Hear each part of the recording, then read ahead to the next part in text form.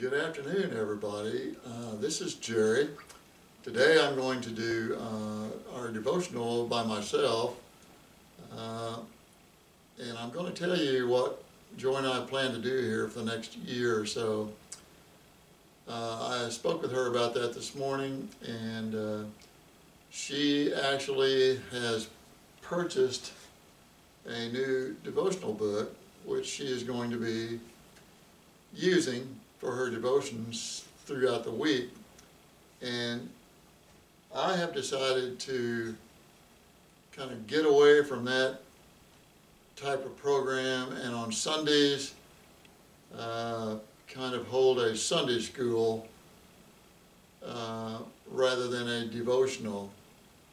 So to help people try and understand their relationship with God and how this all, everything in the Word and everything works together for your benefit, basically, because your relationship with God hopefully will be improved. And I, in turn, will learn a lot more myself about my relationship with God. And what I would like also for you to do is as I go through these different areas in the Word, in your comments, uh, ask questions. Uh, if you have any questions about or comments about what I'm teaching or what I've said, whether you agree or disagree, I would like to know. So there'll be some back and forth between you and I, uh, and together we will hopefully learn a lot from this process, but that is the way I would like to do it, if possible, throughout the rest of this year. And so most of the information that I'm going to be coming to you comes out of a Kenneth Copeland reference Bible that Joy gave to me way back in, oh, I don't know, it's been 20 some odd years ago. And in the front of that Bible, it's a King James Version Bible, but in the front of that Bible, there is a whole lot of reference material that Kenneth goes over. And it just gives you a different perspective on what is in the Word. And then he listed scriptures and so forth to go along with that. And so I will start today with that by talking about faith. Uh, faith is one of those things that should be pretty simple to understand, but a lot of people misunderstand faith. And uh, I assume a lot of people don't even know what that is. I don't know, most Christians do. But it's simply, today we're going to talk about the force of faith because faith is an extremely powerful force. And it says in the scriptures, without faith it is impossible to please God. And so, first of all, the, the foundation scriptures for this is Hebrews 11, 1 through 3. That actually gives you a description of faith in the Word. And faith is not the product of reason, but it is the product of the recreated spirit. Uh, and by that I mean it is something that,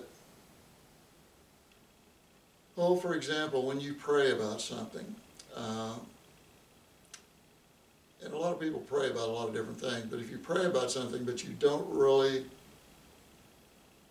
in your heart believe that that's going to come to pass, you have doubts about that, then that faith is of no consequence, is no good really. Because uh, in Hebrews uh, 11, 1 through 3, it says that faith is the substance of things hoped for, the evidence of things not seen. And I'm going to relate that to uh, agriculture today, for example, a farmer. Okay, a wheat farmer, for example, because my dad was a wheat farmer. But the first thing they do is they prepare the ground to be sown with the seed of wheat. And so the farmer plants the wheat in the ground, and he has faith that sometime later that same year, that that wheat is going to come up out of the ground and grow into a full head of wheat, which has, I don't know, maybe a hundred kernels of wheat in it, but he has faith that that's going to happen. And so that requires faith because when he plants that seed in the ground, within a day or two or three or whatever, there's nothing, you don't see anything. Okay, and that goes on for quite some time until the first little green sprout comes up out of the ground. And so there it is. Faith is the substance of things hoped for, because he hopes for a, a great harvest, but it's the evidence of things not seen. And that's in your heart, your own heart. So, for example, uh,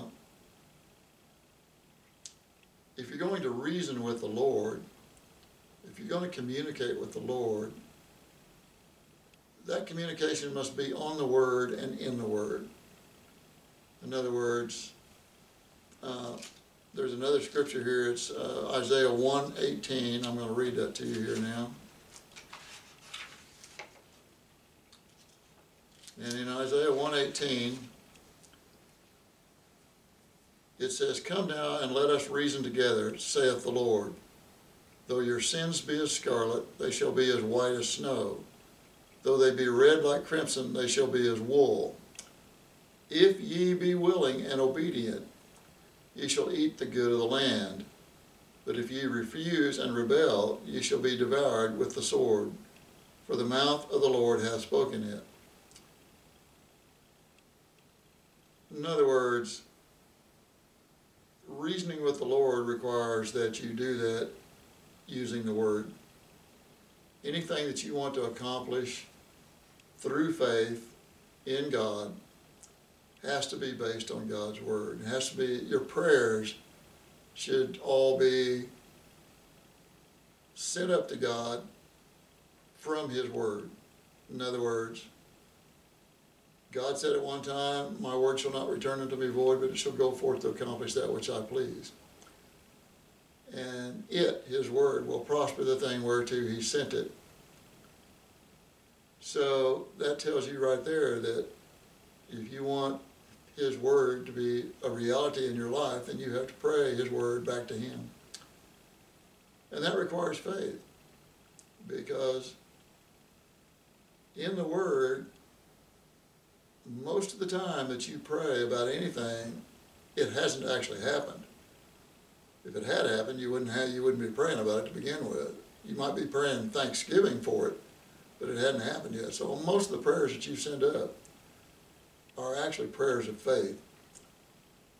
And so that faith requires you to believe in what you're praying, number one, and requires you to pray God's word back to Him. Faith filled words is what it takes, and those words need to come from God's word. The first um, miracle that Jesus performed on this earth was changing. Well, he went to a wedding feast, and I'm going to read that to you also too here to give you some idea of what faith-filled words mean and that is found in uh, John 1, 2, 1 through 10. This is in the second chapter of John, and it talks about the wedding feast that Jesus was at. And I will read this to you. It's John 1, or I mean John 2, verse 1, 1 through 10. And the third day there was a marriage in Cana of Galilee, and the mother of Jesus was there. And both Jesus was called and his disciples to the marriage. And when they wanted wine, the mother of Jesus saith unto him, They have no wine. Jesus said unto her, Woman, what have I to do with thee? Mine hour is not yet come. Now, first of all, his mother had faith that Jesus could do something about that, first of all. Uh, so his mother, right then in the next verse, verse 5, he says, His mother saith unto the servants, Whatsoever he saith unto you, do it. Now, right there, she had faith that Jesus could do whatever it took to get the wine. Okay? And so in verse 6 it says, And there were set there six water pots of stone, after the manner of the purifying of the Jews, containing two or three firkins apiece. I have no idea what a firkin is, but it's a volume of water, evidently. Uh, Jesus saith unto them, Fill the water pots with water. And they filled them up to the brim. And he saith unto them, Draw out now and bear unto the governor of the feast. And they bare it. They gave it to the, they gave it to the governor of the feast. And when the ruler of the feast had tasted the water that was made wine, and knew not whence it was, but the servants which drew the water knew, the governor, the governor of the feast called the bridegroom, and saith unto him, Every man at the beginning doth set forth good wine, and when men have well drunk, then hast kept the good wine until now. This beginning of miracles did Jesus in Cana of Galilee, and manifested forth his glory, and his disciples believed on him. Now that, like I said, is a description of the faith the mother had in Jesus being able to do what he did. And then he, her having faith in him, actually did what she wanted him to do. So that is an example of that. Faith, you know, usually has to be developed in a Christian. I mean, you don't just, I mean, the first day that you're a born again Christian, it just takes time for you to develop faith. You have to be obedient to God's word, number one. And everybody, I mean, everybody slips and falls, falls back, comes back again. No one's perfect. Right after you're saved, I mean, you commit sins again. You just have to be obedient in confessing those sins and be forgiven. But faith is developed. In other words, faith is kind of like God testing you as to how much faith you have in Him. And like receiving the blessings of paying tithes, for example, uh, it requires faith to write those checks to the church or to put money in the offering or whatever. It requires faith because Jesus promises you that there are returns for any of those things. Any of the promises of God that He has in the Word requires faith because you've got to do something first in order to reap the blessings of that. And finances is one of the more important things in a person's life, and to write checks to pay 10% of your income requires faith that you're going to receive the reward. And so that requires faith, and that pleases God. Uh, I think of Abraham and Isaac when God asked Abraham to sacrifice his son Isaac, you know, and that took a lot of faith in God to take Isaac, go up to the mountain, put him on the altar, prepare all that stuff, and then almost kill him before God intervened and stopped him, or the angel of the Lord did. But that required faith, and God was just testing Abraham to see how much faith he actually had. But I firmly believe that Abraham knew from the very beginning that God was going to provide a lamb or ram or something. He did provide a ram. He's going to provide something for him so he wouldn't have to offer Isaac as a sacrifice. But he did it. He went all the way, almost, and he did it. And that pleased God very much because there was something that God had in store for him. And he had to know for a fact that Abraham was willing to do what he wanted him to do uh, in order to get whatever he wanted to get accomplished done. And uh, that took a lot of faith, and God did with Abraham what he wanted him to do. And in your particular situations, it's the same thing. Uh, if you're obedient to the word, you have to put the word first place in your life. You have to make it the final authority. And that, that, you know, whatever promises are in the word, that requires faith. And, but you have to put the word first. In other words, you can't doubt it. You have to truly believe it, and you show that you truly believe it by doing, being obedient to the Lord, and then doing what He says to do in His Word, and you will reap the benefits of that. And as you do that, for example, in healing, for example, if you pray the scriptures concerning healing, and you do what the Lord, there's several instructions in the Word about healing as to what to do to receive your healing. And if you go through those instructions and do what they say to do, you will be healed. But if you don't, you won't. Because if you don't, God detects that you really don't have, you're not really putting Him first place in your life, and so He's not going to reward you with the blessings of that by healing you, basically. And because I've experienced that myself, I did everything in the Word it said to do concerning healing of cancer. And lo and behold, I was healed of the cancer. And uh, it's the same with anything else. You just have to make the Word the final authority, which means you have to meditate in the Word. In other words, you have to read it on a daily basis or as often as you can. Uh, then you have to act on the word. And acting on the word is where it requires faith. It is astonishing to me that 15 to 20 percent of the people concerning tithing in the churches do tithe. Because what that means to God is that they don't believe Him. And so they never usually prosper if they don't. Uh,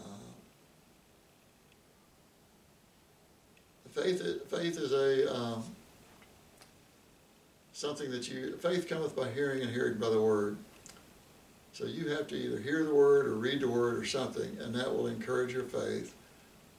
And as you read all the examples in the word about the different people that exercised their faith, the rewards for them were very great. And the ones that didn't exercise their faith, whatever happened to them, either they died or something happened, you know. It's just like the children of Israel going from the desert into the promised land. They didn't have the faith to go into the promised land because they thought that they would be defeated there. So they didn't have any faith. So guess what God did? He sent them back out into the desert for 40 years. So all those people that didn't believe in him would be gone. That generation would die off. And so there's an example of not having enough faith to believe.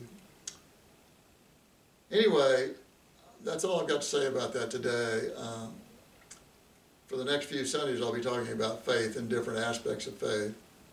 So I'm going to cut it short there. And uh, like I said, as we go through this, I would like for you to comment as to what I said, give me ideas, uh, something I may have missed or some idea that I may have skipped over or something. But in this process, it'll be you and I learning about the Word of God and uh, therefore benefiting from uh, these, not so much devotionals, but I call them Sunday school lessons because that's basically what they are.